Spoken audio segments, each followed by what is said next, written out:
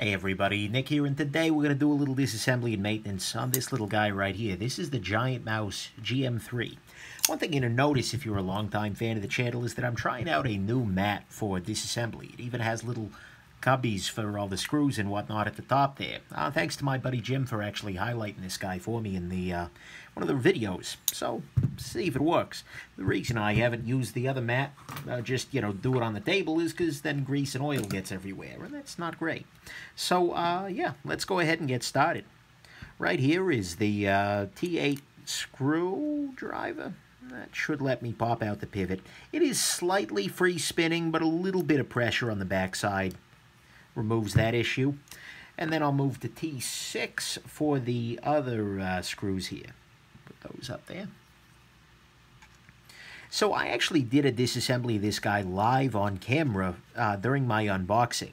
And I'm really glad that I did because uh, the knife got way better when I did that. Um, in, in, terms of action, this was this went from being, whoa there, a uh, very sort of middle of the road sort of flipper to being pretty excellent. Uh, so I appreciated that very much. And uh, so we're not going to find a whole lot of dirt and gunk in here, although I have carried a fair bit, actually, since that ori uh, original video. But we'll go ahead and clean it up here. Alrighty. Using a uh, bit of 91% rubbing alcohol. And drowning myself in it. Well, that sounds really bad uh, it's not like a, a fun, well, not fun, but a, a cute way to talk about alcoholism or anything like that. I'm not drowning myself in rubbing alcohol, except in the sense that I'm spraying it everywhere, which you can see pretty clearly on camera. So you know that that's not just like denial or something, although at this point I'm protesting too much, perhaps. But anyways, beside the point there. Sorry, guys, alcoholism's a real problem. I don't mean to mock you if you're uh, struggling with it. I understand It can be a real pain in the neck, to put it nicely. Alrighty, um, so I'm going to pop out the pivot here, clean the pivot off, back at the ranch. Um, there's actually, you know, a couple of things to highlight here. You've got a very nice little piece of engraving on the bar here, the lock bar, uh, which is subtle but pleasant. And you can actually see here that the lock bar itself is secured in a couple of places. It seems to be, uh, it's held on by the uh, backspacer screws here as well as by the clip. So it's all screwed in there. And uh, it is very secure. I mean, I think it's a nicely done design there. The uh, Giantmouse folks are doing a nice job of these uh, integral lock bar, integrated lock bars that aren't of the same material. And then right here, this is 030, uh, which is fine and fun.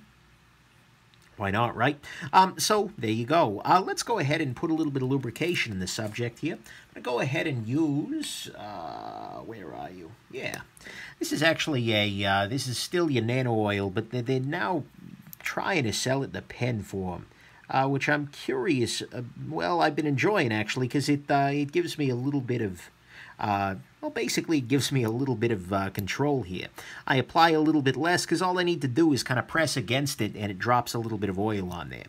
And so hopefully this will allow me to, to, to work on my, my habit of over-oiling the world uh, by just applying a little bit less using the little pen guy here.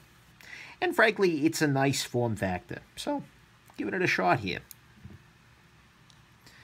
It's kind of a weird thing to do a review of, but I guess I probably should.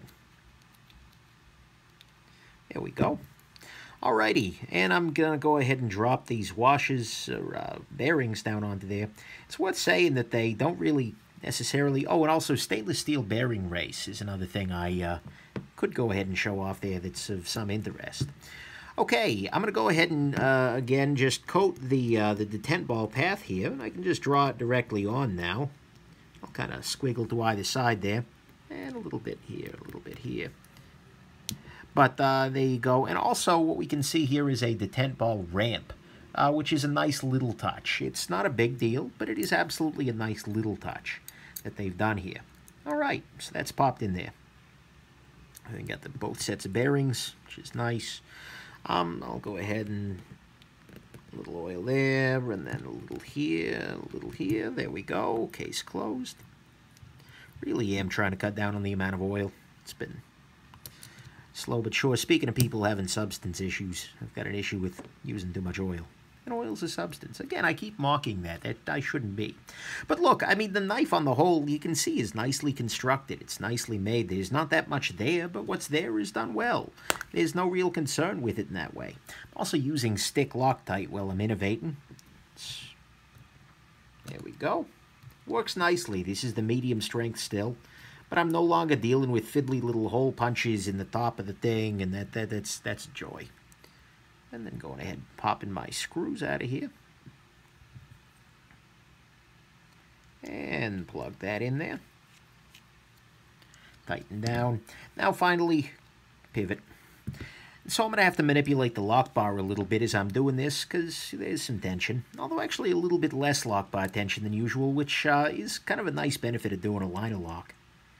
Uh, uh, frame locks have a tendency towards crazy lock bar tension just because they kind of need it um, and thicker materials and whatnot. So, okay, I'm backing this screw out. There we go. Until I kind of feel it skip one, and then I'm going to go ahead and plunge it in there.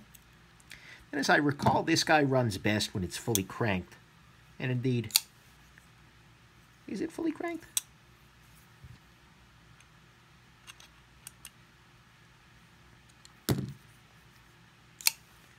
No blade play, vertical or horizontal. There we go. Yeah, that fires just beautifully. Um, back it off just a smidge, see if that helps. No, not really. Doesn't hurt anything, though. Centering is just a hair off, actually, towards the show side. So I'm actually going to go ahead and tighten these, or I'll loosen up these back screws a little bit and then tighten them back and see if that makes any difference. So I kind of went about this a little bit backwards. But as I, I'll have to check my initial video, uh, the unboxing, just to see whether, okay, now it's, it's close. Interesting. Yeah. Not perfect, but it's pretty damn close. Certainly not touching anywhere. Not ideal. I'm wondering. No, I got everything in there, right? Action's great. No play to either side. It's favoring the uh, show side, which means it's probably not the lock bar being too uh, loose, which can occasionally cause that. Uh, yeah. Well, here, I'll tighten up a little more, see if that helps. Okay, yeah, that helped a little bit.